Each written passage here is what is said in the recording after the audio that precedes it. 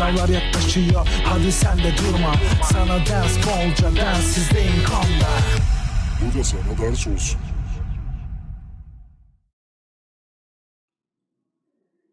Merhaba arkadaşlar. Toplumcu gerçekçi şiir anlayışı sanatçılarına Süreyya Berfe ve Hasan Hüseyin Korkmazgil ile devam ediyoruz. Evet Süreyya Berfe. İlk şiiri Düzlem dergisinde 1963 yılında yayımlandı. 1966'dan başlayarak Papyrus, Şiir Sanatı, Soyut gibi dergilerdeki şiirleriyle tanındı. Türkiye Milli Talebe Federasyonu'nun açtığı yarışmada Kasaba adlı şiiri birincilik kazanınca ünlendi. İkinci yeni akımı etkileriyle şiir yazarken toplumsal olayların yoğunluk kazanması ve Nazım Hikmet'in eserlerinin üst üste yayımlanması nedeniyle yön değiştirdi.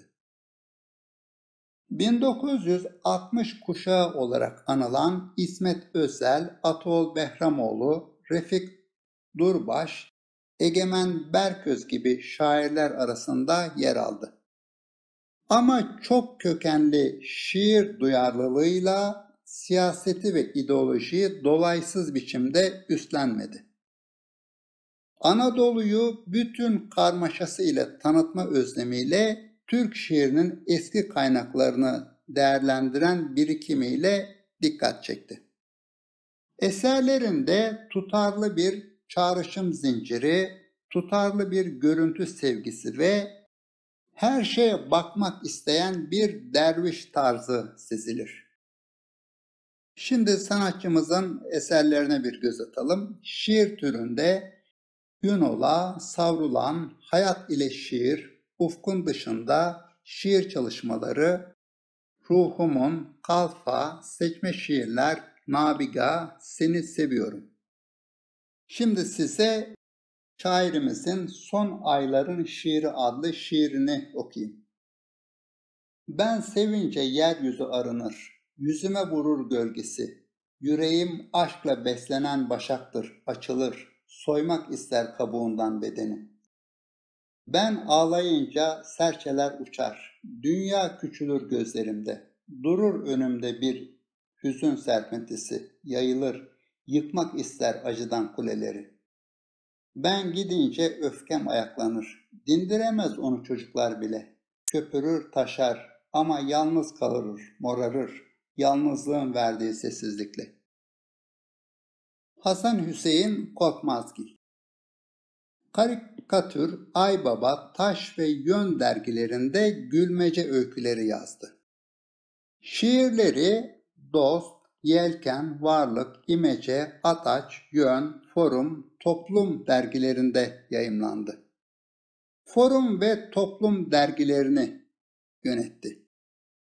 Kırsal kesim insanları ve işçilerin sorunlarını halk edebiyatı öğelerinden de yararlanarak zaman zaman yinelemelere dayalı uzun dizelerden oluşan bir şiir kurgusuyla dile getirdi.